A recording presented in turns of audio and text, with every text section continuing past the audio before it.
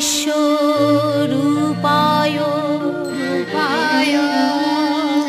विश्वस्थे तप्तहेतवेतवे विश्वे शाराय विशायो। गोविन्दायो नमो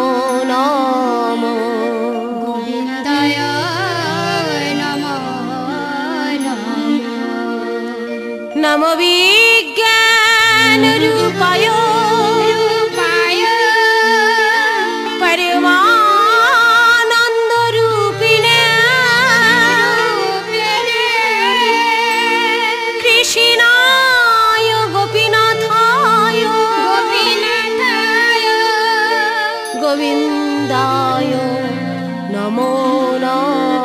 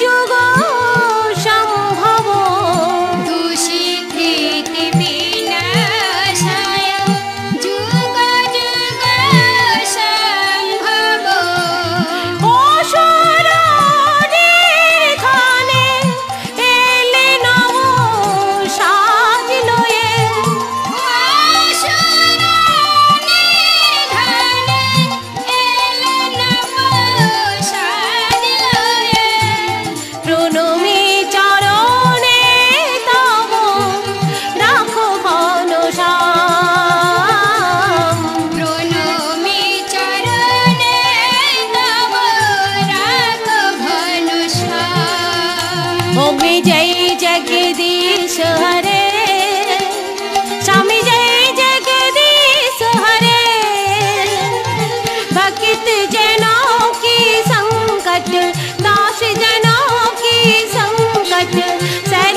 दूर करे। जगदीश हरे।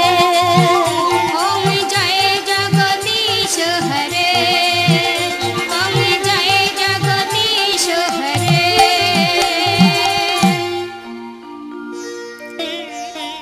जथा मांग।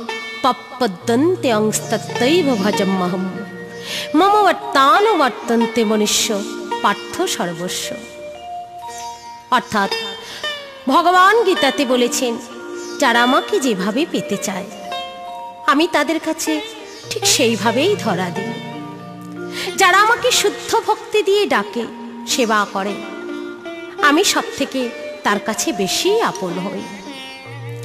এমনই এক ভক্ত যিনি ভগবানকে পুত্র রূপে পেয়েছিলেন, এমনকি সেই ভক্তের মৃত্যুর পর স্বয়ং ভগবান শ্রাদ্ধ করেছিলেন, পিণ্ডদান করেছিলেন। কিন্তু কীভাবে ভগবানকে পুত্র রূপে পেলেন,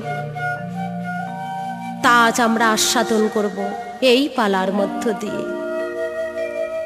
আজ গৌরাঙ্গ মহাপ্রভু নীলাচল থেকে চলেছেন। বৃন্দাবনের পথে। অগণিত সন্ন্যাসী ভক্তদের নিয়ে আর বামে রাখলেন ভক্ত গোবিন্দ ঘোষকে। মনে একটাই বাসনা, যে বৃন্দাবনে যাবার আগে শেষ পারের মতো বাস্তবিটিকে দর্শন করে যাবেন। তাই নবদ্বীপের পথে চলেছেন আর বলছে, ওগো, বলতে পারো, আর কত দূর বৃন্দাবন? বলো না গো। ওগো কে আছো বন্ধু? নিয়ে চলো মোরে যে থায় বৃন্দাবন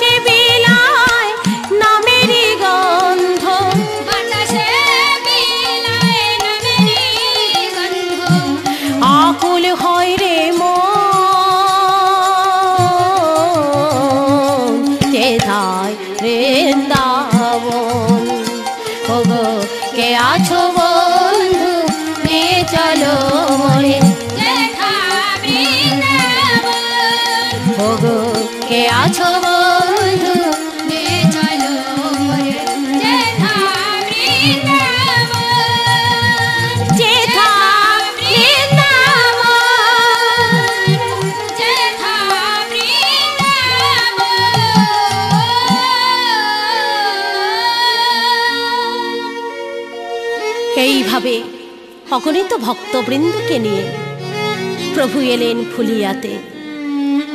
ঠিক সেই সময় নদিয়ার কাঙ্গার ঘাটে স্নান করতে এসেছিলেন বিষ্ণুপ্রিয়া ও সই কাঞ্চনা। হঠাৎ বিষ্ণুপ্রিয়া কাঞ্চনাকে ডেকে বললেন, ওই দেখ দেখ সই খারা যেন আমার প্রভুর জয়গান করতে করতে চলেছে। তবে কি তবে কি আমার প্রভু এসেছেন রে? কাঞ্চনা বলছেন, সই। তিনি যদি এসেই থাকেন, অন্তত একবার তোর সঙ্গেই দেখা করবেন। কিন্তু গৌরহরি আমার, নবদ্বীপে এসে উঠলেন অদ্বৈত আচার্যের গৃহে। দেখতে দেখতে রাত্রি গভীর হল। প্রভু মনে মনে ভাবলেন, এই রাত্রে আমাকে বাস্তবিটি দর্শন করে চলে যেতে হবে। তা না হলে এই অগণিত নবদ্বীপবাসীরা কেউ আমাকে ছাড়বে না। তাই ধীর পদক্ষেপে গৃহের দিকে রওনা হলেন।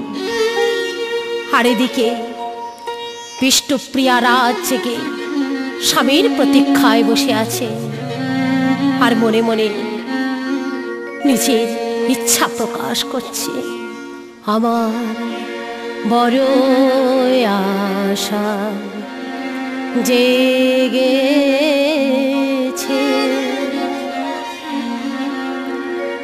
তোমারে পাব বলে হৃদয় মাঝে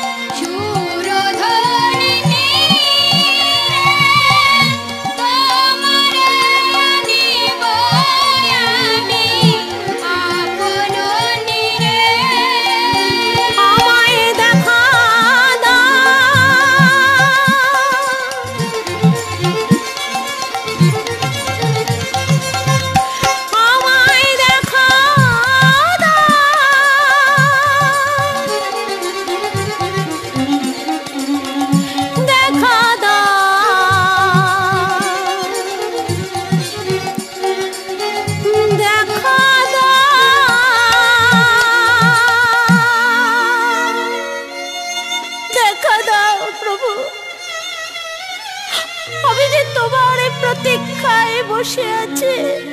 দেখা দাও দেখা দাও আমার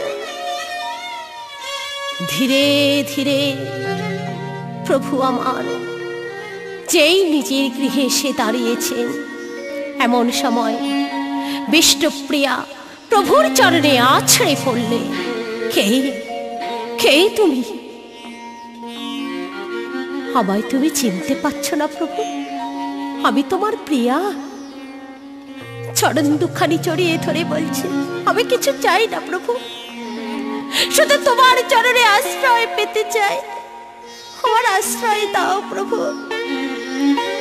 ছি ছি প্রিয়া আমি না তোমায় বলেছি, যখন তোমার আমার কথা মনে পড়বে, তুমি কৃষ্ণ নাম করবে। দেখবে আমায় ভুলে গেছো। না প্রভু, না।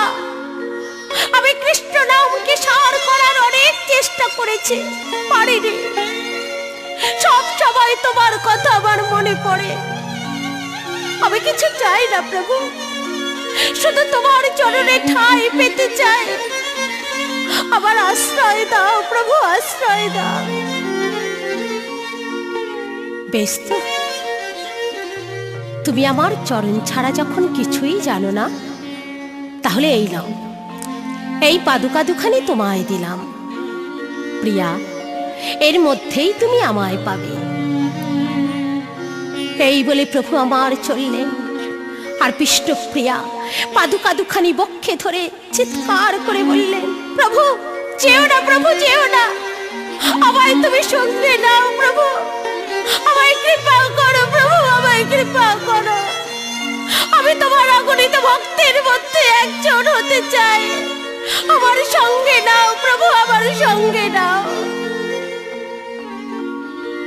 কিন্তু প্রভু, আমার সর্বস্ব মায়াকে পরিত্যাগ করে বাস্তু ফিটেকে শেষ প্রণাম করে, তীর বেগে দৌড়ে চলেছে। গোবিন্দ, আর এখানে নয়। চলো, এই এই মুহূর্তে আমাদের বেরিয়ে পড়তে হবে। চলো গোবিন্দ। নারী নারিব হেথা রহিবারে আমি।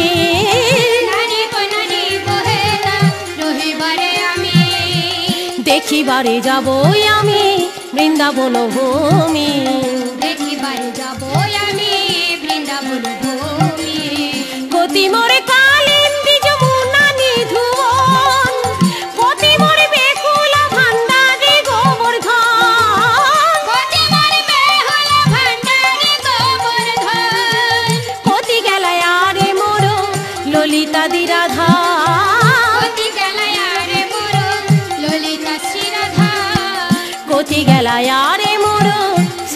যশোদা। শ্রীদাম সুদাম রইল কোথায়? ছাবলি শ্যামলি অনুরাগে ধাই ওই ধাবলি শ্যামলি অনুরাগে ধাই শ্রীদামে সুদামে রইল কোথায়?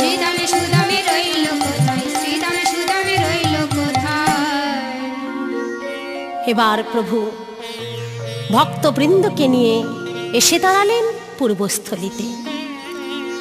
সেখানে ভক্তবৃন্দদের কাছে সেবা গ্রহণ করে দক্ষিণ হস্ত গোবিন্দ ঘোষের দিকে বাড়িয়ে দিয়ে বললেন, গোবিন্দ, আমায় মুখশুদ্ধি এনে দাও। মুখশুদ্ধি আচ্ছা আচ্ছা দাঁড়াও প্রভু, এক্ষুনি আমি তোমার জন্য মুখশুদ্ধি আনছি। এই বলে গ্রামে থেকে দুটি হরিতকে ভিক্ষা করে আনলেন। একটি প্রভুর হাতে দিলেন আর একটি নিজের কাছে রেখে দিলেন। এবার শুরু হলো গোবিন্দ ঘোষের পরীক্ষা। পরদিন পরবর্তী গ্রাম অগ্রদ্বীপে এসে দাঁড়ালেন। পূর্ব তীরের নেয় আবার সেবার শেষে প্রভু দক্ষিণ হস্ত বাড়িয়ে দিলেন গোবিন্দের দিকে।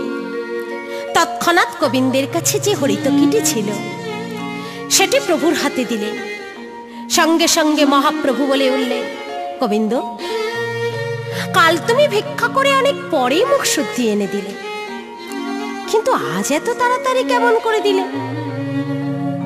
প্রভু গো, কাল আমি ভিক্ষা করে দুটি হরিতকি এনেছিলাম। একটা তোমায় দিয়েছিলাম আর একটা আমার কাছে রেখেছিলাম। কি বললে গোবিন্দ? তুমি সঞ্চয় করেছ। তুমি না সন্ন্যাসী। সন্ন্যাসী হয়ে তুমি সঞ্চয় করলে গোবিন্দ। তুমি জানো না? সন্ন্যাসীর ধর্মে নাই সঞ্চয়ের অধিকার।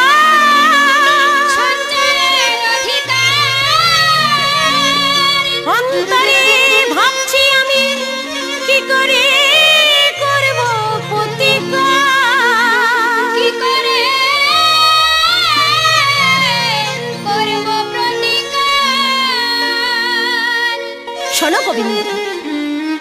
সঞ্চয় করেছ।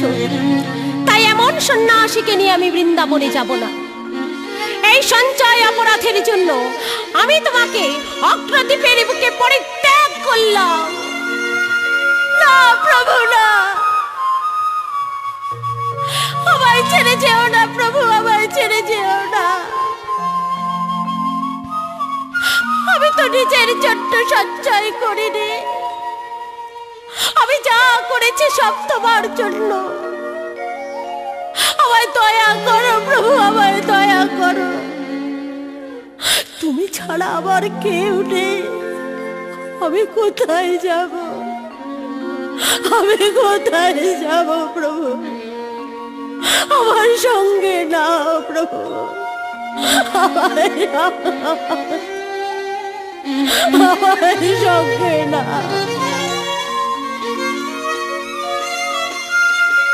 গোবিন্দ ঘোষকে আঘাত করার জন্য প্রভু নিশ্চল পাথর হয়ে রইলেন। গোবিন্দ বলে উঠলেন আমাকে তাহলে তুমি নেবে না প্রভু? আমি ভক্ত, তুমি ভগবান। আমি সন্তান, তুমি পিতা। ভক্তের অপরাধ যদি ক্ষমা করতে না পারো, তাহলে তুমি কিসের ভগবান? কেন তবে লোকে তোমায় সেবা দেয়? যদি তুমি সন্তানের অপরাধ ক্ষমা করতে না পারো। শোনো প্রভু, আমি যদি নিত্যই তোমার ভজন করে থাকি, আমি যদি নিত্যই তোমার চরণ বন্দনা করে থাকি, আমি যদি তোমার চরণে সর্বস্ব নিবেদন করে থাকি, তাহলে আমিও প্রতিজ্ঞা করছি, আজ থেকে এক পক্ষকালের মধ্যে তোমাকে আমার ডাকে সাড়া দিতেই হবে। গোবিন্দ ঘোষকে পরিত্যাগ করে মহাপ্রভু চললেন বৃন্দাবনের পথে। আর গোবিন্দ সুরথনির তীরে বসে বসে কাঁদছে আর বলছে, প্রভু প্রভু খেলা যদি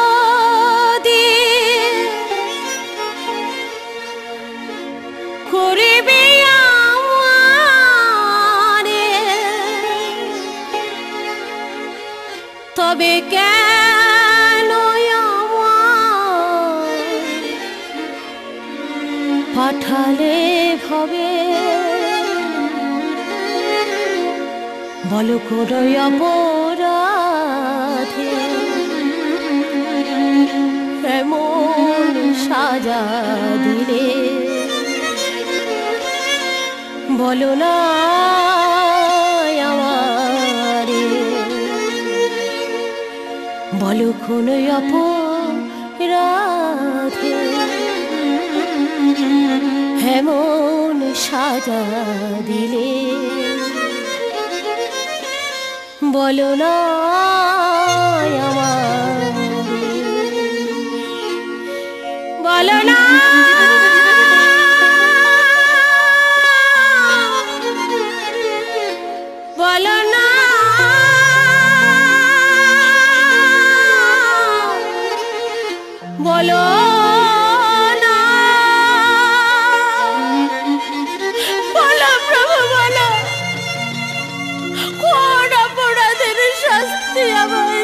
বলো। আমি তো কোনো পাপ করি নাই। আমি তো কারোর কোনো ক্ষতি করি নাই। দেখতে দেখতে সাত দিন কেটে গেল। কই, তুমি তো আমার ডাকে সাড়া দিলে না।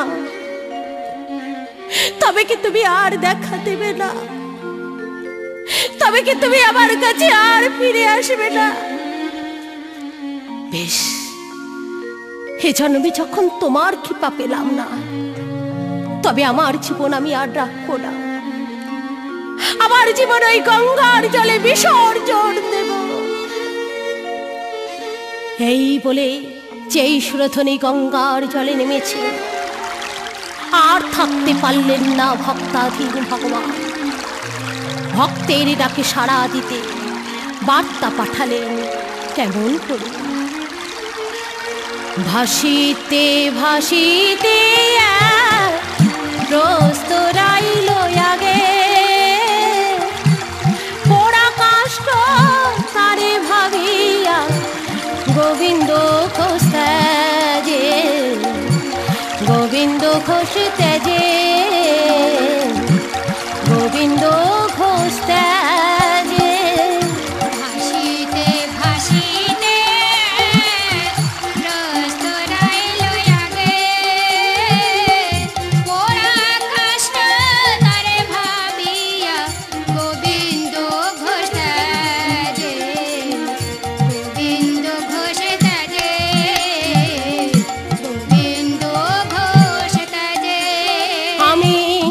আনিয়াছি দূর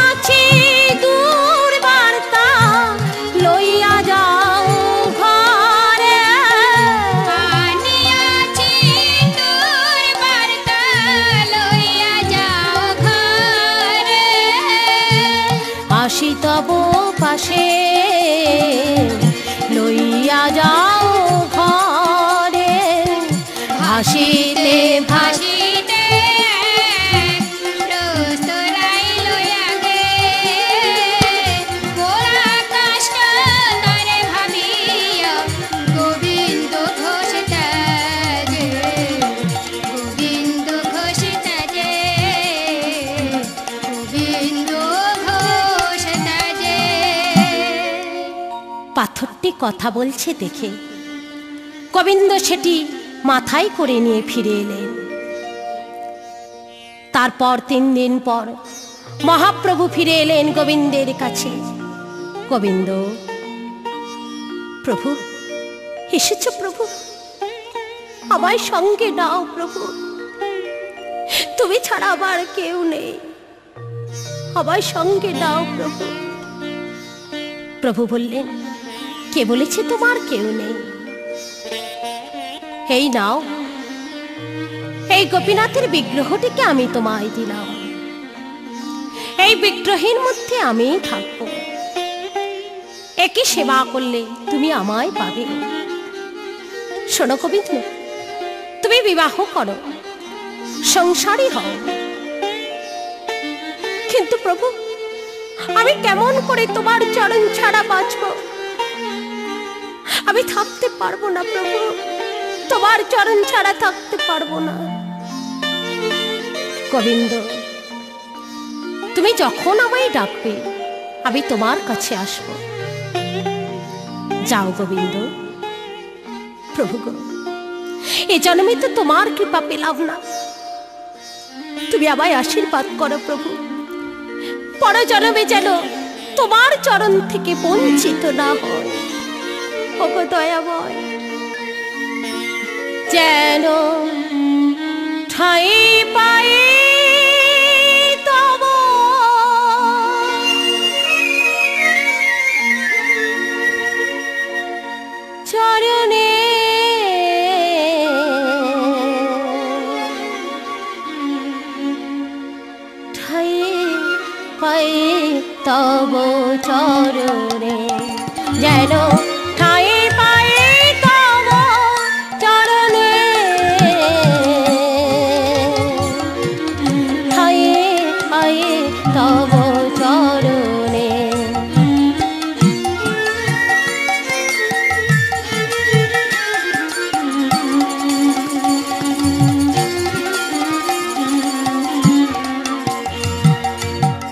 হেচিত লাঞ্ছিত করুণা বঞ্চিত হেচিত লাঞ্ছিত করুণা বঞ্চিত দয়া কর প্রভু মোরে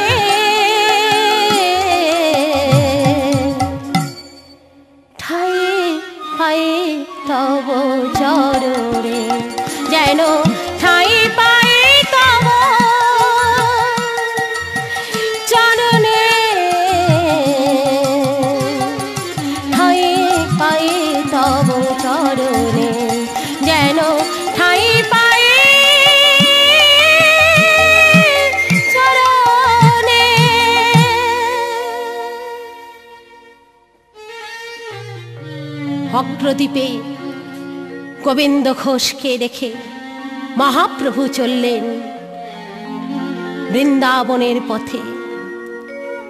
গোবিন্দ সেই অগ্রদ্বীপের পাতার কুঠির তৈরি করলেন। সেখানে নিত্য গোপীনাথের সেবা দেন। মহাপ্রভুর কথা মতো তিনি চন্দ্রাবলী নামক এক রমণীকে বিবাহ করলেন। প্রতিদিন গোবিন্দ ভিক্ষা করে আনতেন।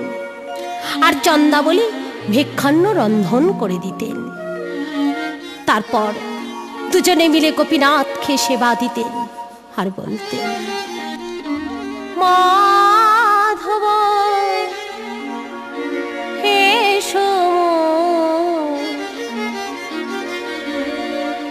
অন্তর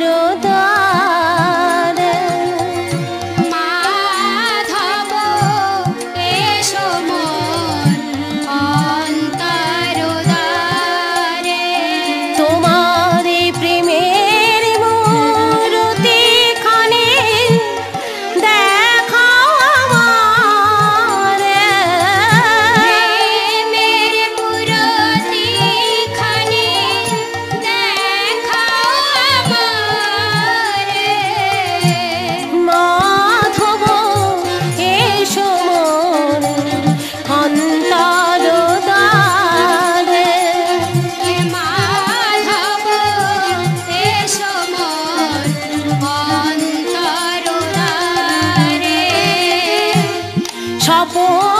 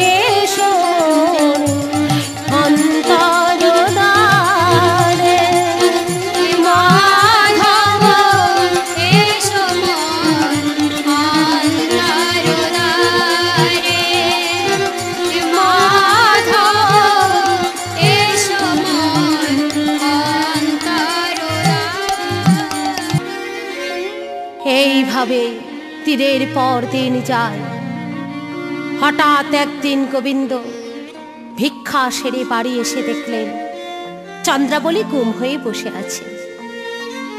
গোবিন্দ বললেন, এ কি? চন্দ্রাবলী?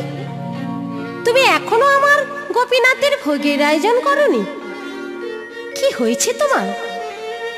চন্দ্রাবলী চিৎকার করে বলে উঠলেন, কে দিয়েছে? কে দিয়েছে তোমার এই পাথরের গোপীনাথ? রাত দিন তোমার এই বিগ্রহকে খালি সেবা সেবা আর সেবা শোনো, আজ থেকে তোমার এই মূর্তিকে আমি নিত্যই সেবা দিতে পারব না। পারবে না? কেন চন্দ্রা? কি হয়েছে তোমার? কেন জানো? প্রতিদিন তোমার এই গোপীনাথের সেবা দিই, আর বলি, ঠাকুর, আমার কোলে একটা সন্তান দাও। দিয়েছে। দিয়েছে তোমার এই পাথরের গোপীনাথ? তাহলে কেন তার সেবা দেব বলো? চন্দ্রা, কেন দেয়নি জানো? এই গোপীনাথই আমাদের সন্তান। না, স্বামী, না। আমি তোমার এই মূর্তিকে সন্তান ভাবতে পারব না। আমি সত্যিকারের রক্তে মাংসে গড়া সন্তান পেতে চাই, স্বামী। গোবিন্দ ঘোষ বুঝতে পারলেন। এ সবই লীলাময়ের ইচ্ছা। তাই গোপীনাথের মন্দিরে গিয়ে বললেন, ঠাকুর হে তুমি কোন পরীক্ষায় আমায় ফেললে দয়াময়। এর জন্য কি তুমি আমায় সংসারে হতে বলেছ? তাহলে শোনো প্রভু, চন্দ্রাবলীর মনোবাসনা পূরণের জন্য আমায় একটা সন্তান দাও প্রভু। সন্তান দাও তাই ভক্ত বাঞ্ছা কল্পতরু। ভক্তের মনোবাসনা পূরণের জন্য কি করলেন? ভক্ত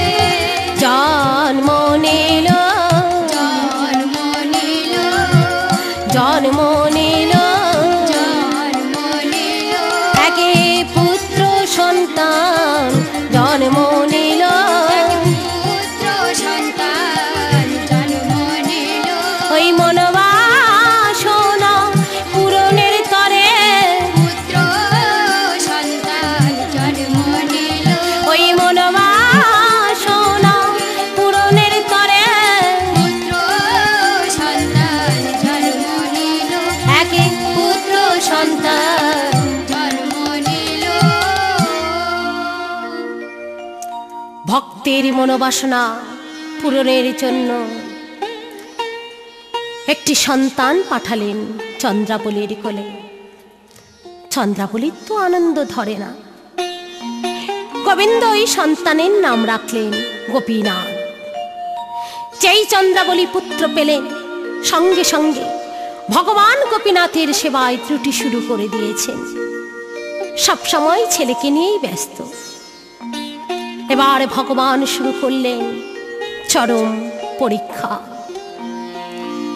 যখন পুত্র গোপীনাথের বয়স চার বৎসর হলো, ঠিক সেই সময় মা চন্দ্রাবলীকে কেড়ে নিলেন ইহকালের জন্য। একদিন সর্পাঘাতে চন্দ্রাবলীর মৃত্যু হল। গোবিন্দ ঘোষ চার বৎসরের সন্তানকে বুকে করে তুলে নিলেন। চন্দ্রাবলী, তুমি বড় আশা করেছিলে না সন্তানের? দেখলে তো দেখলে তো লীলাময়ের কেমন ইচ্ছা। সেই সন্তানকে রেখে কেমন পাখির মতো ফুরত করে উড়ে গেলে?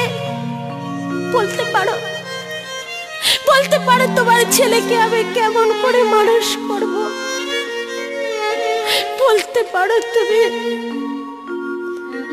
পুত্র গোপীনাথকে কোলে নিয়ে ভগবান গোপীনাথের মন্দিরে গিয়ে বলছে, গোপীনাথ, বলো, এ তুমি কি করলে বলো? শোনো গোপীনাথ, আমার চন্দ্রাবলী তো চলে গেছে। আজ থেকে তোমার জন্য আমি নতুন কিছু রান্না করতে পারব না। আজ থেকে যা রান্না করব, আমরা তিনজনেই খাব। এইভাবে যা রান্না করেন ভগবান গোপীনাথকে সেবা দেন পুত্র গোপীনাথকে খাওয়ান ও নিজে খান। আর বলে মনো এগেবা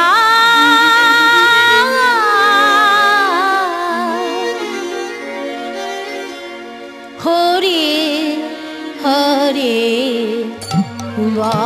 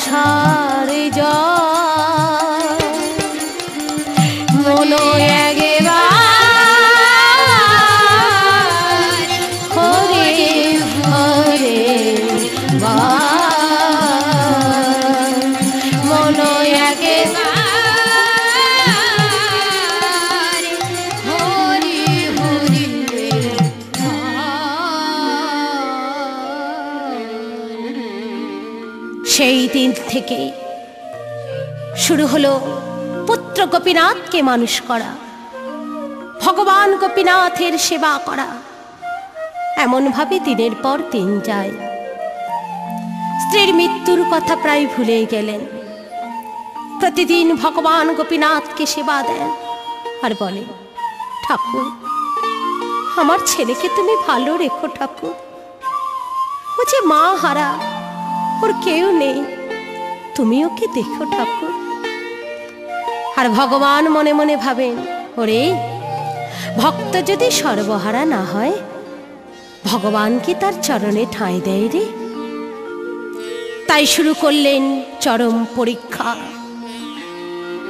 বেশ কয়েকদিন ধরে পুত্র গোপীনাথের ভীষণ জ্বর। তাই প্রতিদিন ভগবান গোপীনাথকে সেবা দিয়ে চরণামৃত এনে পুত্র গোপীনাথকে দেন। আজও তেমনি ভগবান গোপীনাথের সেবা দিয়ে চরণামৃত এনে পুত্র গোপীনাথকে ডেকে বলছেন, বাবা ওট এই দেখ, আমি চরণামৃত এনেছি। নে বাবা, তাড়াতাড়ি উঠে খেয়ে নে। তোর জ্বর ভালো হয়ে যাবে। ওট বাবা ওট বারবার ছেলেকে ডাকছেন, কিন্তু ছেলে আর বাবার ডাককে সাড়া দেয় না। যেই ছেলেকে কোলে নিয়ে চরণামৃত দিতে যাবেন হঠাৎ গোবিন্দ বলে উঠলেন হে কি? কপিনাথের সর্বশরীর এমন পাথর হয়ে গেছে কেন? কথা বল কথা বল গোপীনাথ, সাড়া দে। গোপীনাথ গোপীনাথ। কি হলো ঠাকুর? কি হলো দয়াবয় আমার একমাত্র নয়নের নিধিকে তুমি কেড়ে নিলে। ফিরিয়ে দাও, ঠাকুর, ফিরিয়ে দাও। ও যে আমার অন্ধের জ্যোষ্ঠী আমার সন্তানকে আমার কোলে ফিরিয়ে দাও, ঠাকুর। একবার ফিরিয়ে দাও, দয়াময়, ফিরিয়ে দাও। মৃত সন্তানকে কোলে নিয়ে ভগবান গোপীনাথের মন্দিরে গিয়ে বললে বলো বলো, কোন অপরাধের শাস্তি আমায় দিলে বলো? আমি তো এই জীবনে কোনো পাপ করি নাই। আমি তো কারোর কোনো ক্ষতি করি নাই। তবে কোন অপরাধের শাস্তি আমায় দিলে বলো? চুপ করে থেকো না। আজ তোমাকে বলতেই হবে, বলো বলো তুমি বলো। বলো দয়াময় বলো। পাথরের বিগ্রহ, তেমনি অবিচল রইলেন গোবিন্দ ঘোষ পাথরের বিগ্রহের পায়ে মাথা ঠুকতে লাগলেন। বলে উঠলেন, শোনো গোপীনাথ, এ জীবনে আমি তুমি ছাড়া কিছুই জানতাম না। বড় সাত করে সন্তানের নাম রেখেছিলাম গোপীনাথ। আমার ছেলের মতো আমি তোমায় ভালোবাসতাম। তোমার তুমি আমার একমাত্র নয়নের নিধিকে কেড়ে নিলে। তাহলে শুনে রাখো, আমার পুত্র গোপীনাথকে নিয়ে আমি চললাম। আর কোনোদিন আমি তোমার সেবা দেব না। আজ থেকে মন্দিরের দরজা আমি চিরদিনের মতো বন্ধ করে দিলাম। মৃত সন্তানকে নিয়ে এলেন গঙ্গার ঘাটে। চিতা সাজিয়ে কাঁদছে আর মনে মনে বলছে দয়াবয় আমার স্বামী যদি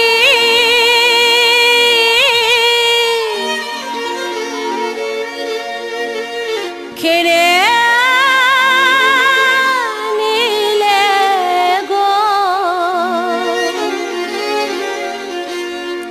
আমার কান্নাকে নিলে না নীলে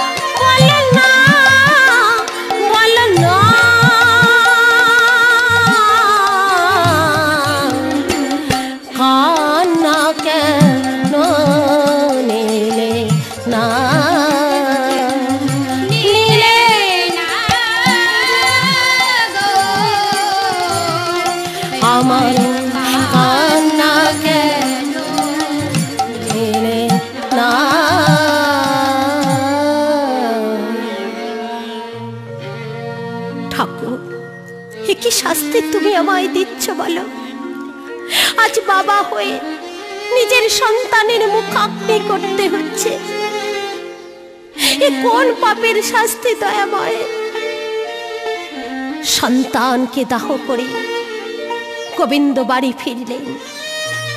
ভগবান গোপীনাথের সেবা বন্ধ করে দিয়েছেন। মন্দিরের দরজাও খোলেন না। দেখতে দেখতে তিন দিন পার হয়ে গেল। পরদিন রাত্রে ঘরের মধ্যে একাকী বসে রয়েছেন পুত্র গোপীনাথের কথা ভাবছেন আর কাঁদছেন। এমন সময় কে যেন দরজায় আঘাত করছে? গোবিন্দ বলে উঠলেন, কে? কে দরজায়? হঠাৎ দেখলেন আপনা থেকে কাঠের দরজা খুলেই গেল। চমকে উঠলেন গোবিন্দ, কে? কে তুমি? কি? প্রভু? আমি তোমায় প্রভু বলব না। কেন এসেছ? কেন এসেছ আমার কাছে? চলে যাও এই মুহূর্তে আমার জগৎ থেকে।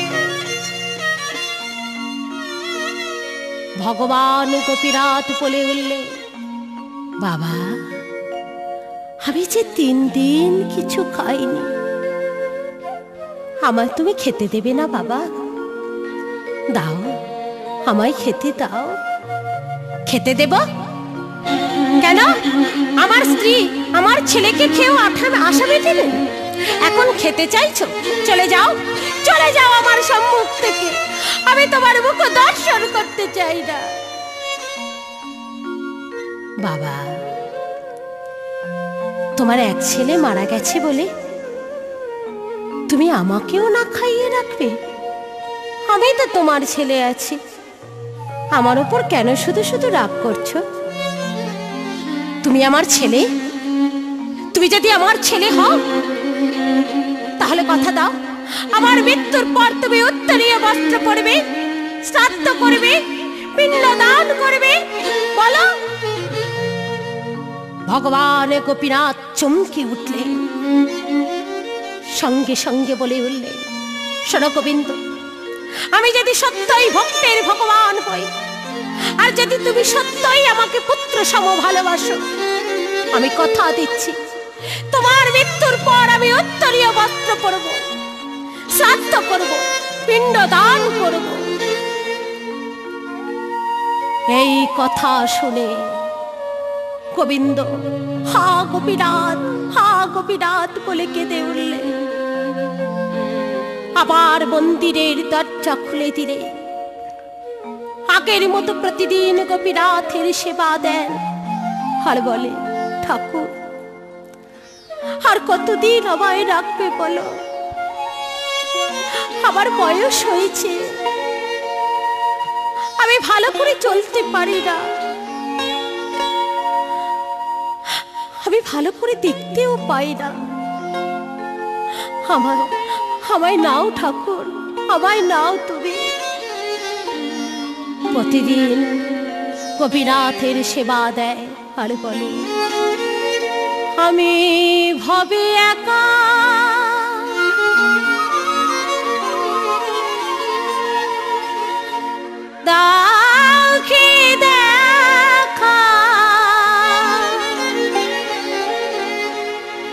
সখী প্রাণ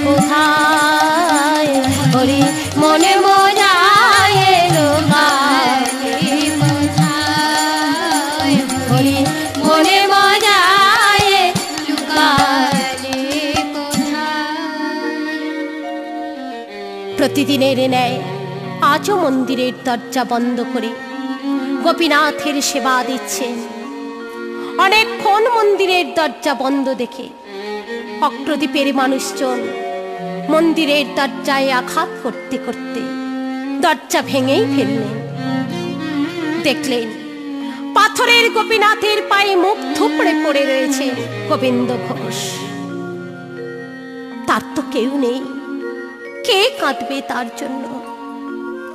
কিন্তু একজন কাঁদছেন পাথরের দেবতার চোখে অবিশ্রান্ত জলধারা বইছে। সবাই গোবিন্দ ঘোষের শবদেহকে নিয়ে চললেন সমাধিতে। সকলের মুখে একটাই কথা বলো হরি। হরি বলো। হরি। হরি বলো। হরি। হরি পরদিন নতুন পূজারী এসেছেন গোপীনাথকে সেবা দিতে। এমন সময় দৈববাণীতে কে যেন বলে উঠল, পূজারী, তুমি আমাকে হব্বেশ্য অন্ন দাও। আমাকে উত্তরীয় বস্ত্র পরিয়ে দাও। আমার পিতা হলেন গোবিন্দ ঘোষ। তার কাছে আমি প্রতিশ্রুতিবদ্ধ। তার মৃত্যুর পর আমি কাছা নেব। শ্রাদ্ধ করব পিণ্ড দান করব। তাই এক মাস অশৌচ পালন করার পর আগামী কৃষ্ণপক্ষে একাদশী তিথিতে আমার পিতার সাধ্য মহোৎসবের আয়োজন করবে। সেখানে আমি নিজেই পিতার পিণ্ড দান করব। এই কথা শুনে পূজারি ছুটতে ছুটতে গ্রামের মধ্যে এসে বললেন শোনো শোনো প্রতিপের মানুষজন কে বলে পাথরের দেবতা কথা বলে না? কে বলে পাথরের দেবতা কাঁদে না? গোবিন্দ ঘোষ এমন সাধুজন ছিলেন, যার জন্য পাথরের মূর্তি কাঁদছে। যার জন্য তিনি নিজেই সত্য করবেন বলেছেন। কেউ কেউ এই কথা বিশ্বাস করল না। দেখতে দেখতে এক মাস পূর্ণ হলো। অক্রদ্বীপের মানুষজন গোবিন্দ ঘোষের শ্রাদ্ধানুষ্ঠানের আয়োজন করলেন। সবাই জড়ো হয়েছেন সেখানে। যারা তাচ্ছিল্যের ভাব নিয়ে এসেছিল, যারা পরিহাসের নয়ন নিয়ে এসেছিল, তারা কিছু দেখতে পেল না। যারা ভক্তির মন নিয়ে এসেছিল, তারাই দেখতে পেল। ধীরে ধীরে পাথরের গোপীনাথ মন্দির থেকে বেরিয়ে এসে গোবিন্দ ঘোষের শ্রাদ্ধ বাসরে বসলেন। নিজের হাতে পিতার পিণ্ড দান করলে। অগণিত অগ্রদীপবাসী বলে উঠলে, সাধু সাধু গোবিন্দ ঘোষ, সত্যই তুমি বৈষ্ণব, সত্যই তুমি ভক্ত। তোমার জন্য পাথরের গোপীনাথ আজ নিজেই পিণ্ড দান করেছে। সবাই মিলে সাত্য বাসরে গেয়ে উঠলে।